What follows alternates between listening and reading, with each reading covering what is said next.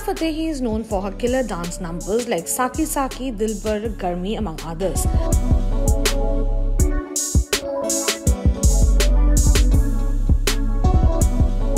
But now the actress revealed that her upcoming films have allowed her to push more as an actress. In an interaction with News 18, Showsha, Nora said, I don't think because I dance is why they don't want to cast me.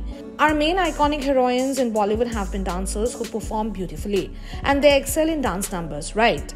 That was just a part of the package of being like an iconic heroine. I don't think it was because of that. I think it was always, oh, I don't know. It's almost like, let's see who will take the chance on her. And if she delivers in all the categories, meaning the acting skills, the presence, the aura, the ability to express the language skill, then we will jump on the opportunity. So I think it was who would have got the balls to do it first, to take a chance on me first. I think that was what everyone was waiting for. Talking about the growing competition in the industry, Nora further added, Today, the industry has become very competitive. Let's be realistic.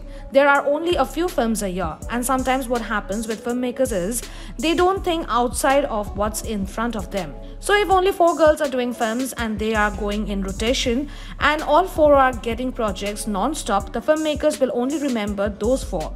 They won't think beyond that. So, your job is to try to intercept the four and become five and get into rotation, and then that's just how the ball rolls. And yes, I mean it's hard work, but it's happening.